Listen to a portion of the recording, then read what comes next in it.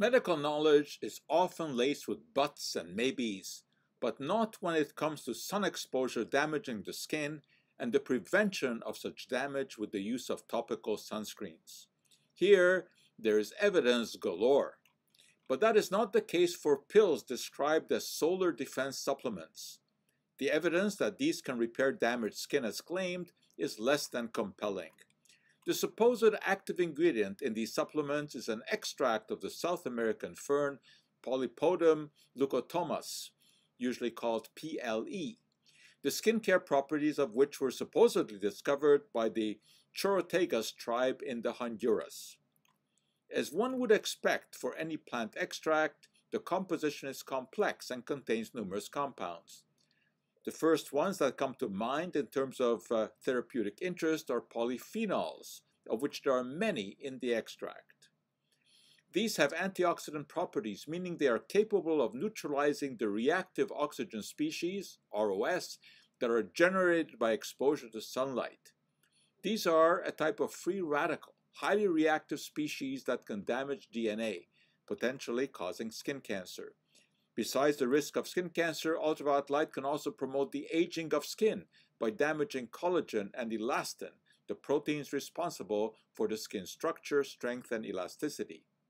In theory, taking polyphenols in pill form can reduce skin damage from the sun, but the effects of the fern extract seem to go beyond that, at least in cell culture and animal studies. The extract increases the activity of erythroid-related factor 2, commonly referred to as NRF2. This is a protein known as a transcription factor that regulates gene expression. In this case, the activity of genes that produce the body's own antioxidants, such as glutathione, and of those that produce anti-inflammatory substances is increased.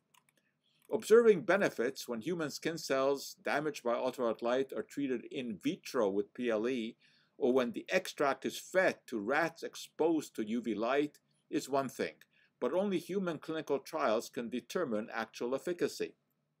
There have been a number of these, mostly funded by the manufacturer, but they are not compelling. In general, they use a small number of subjects and are not randomized, blinded, or placebo-controlled. In the largest clinical trial, there was no significant difference in skin damage between subjects who used a sunscreen plus PLE pills and those who used only a sunscreen. One small study did show improvement in vitiligo, a condition characterized by unpigmented skin uh, due to lack of melanin production. Fern pills appear to be safe enough, but claims of providing protection against sun damage are pretty shady. To give some credit to the promoters of solar defense supplements, they always suggest that the pills be used in conjunction with a sunscreen.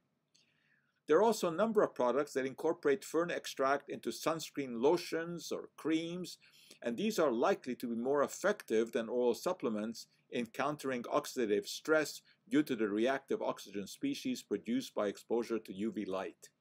Still, the best way to protect the skin from damage caused by exposure to sunlight is not to be exposed in the first place.